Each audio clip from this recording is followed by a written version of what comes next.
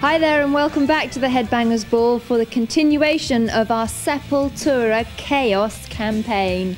Following the recording of Chaos AD in Wales, the Brazilian metalers returned to the valleys to launch the album in memorable style.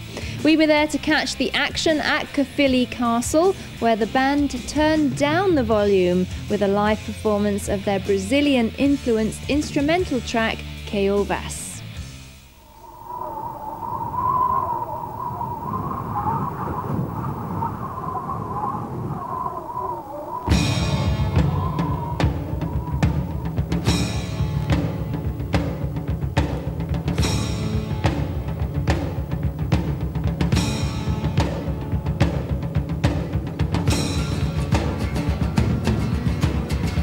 My favorite album ever that we ever did, you know.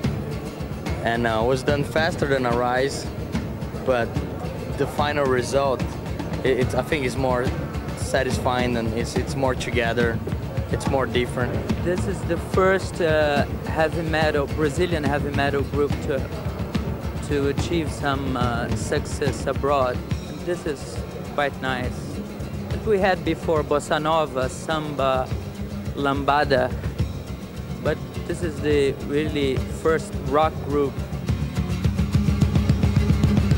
When they, they started to have the idea to, to do this party, and we thought about to, to bring something about Brazil, and I was like, this guy has to be over here, or it's not gonna happen, because you know, we, we have at least to be something about Brazil. It's not just the whale thing, and uh, it's not the England thing, and not the record label. It's not, we got to have some Brazilian culture going on. We got to show more about Brazil. Just let the people know about a little bit more about about Brazil.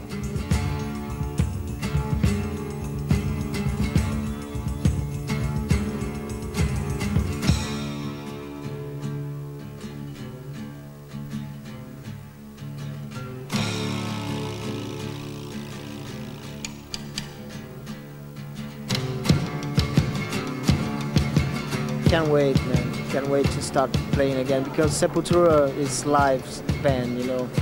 All this thing is just because of live, you know. That's our concern to record the album was really live stuff, and, and I can't wait to go on, on on stage and improve of the song we record and really give more, and with the crowd together and really improve a lot the song and really put the song live in the people's hearts and stuff, you know. So we're looking forward to start playing really soon.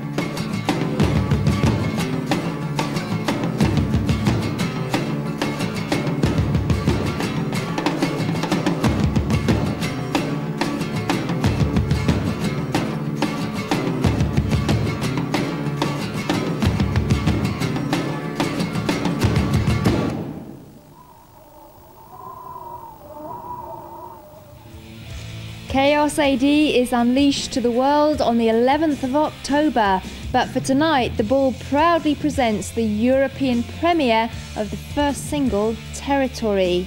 The video was filmed on location in Israel just prior to the signing of the historic peace accord between the PLO and the Israeli government. I can't say I really enjoyed doing it. It was really hard, you know, it was very hot and it was just two days. Wake up four in the morning, and we shoot to 10 at night.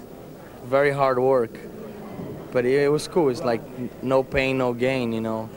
I, I'm, I saw it for the first time in the party today, and I like it, and I think it, it came out pretty cool. It's not, it's not a better place than there to do a video, and I think we have a lot of balls to go there and shoot a video.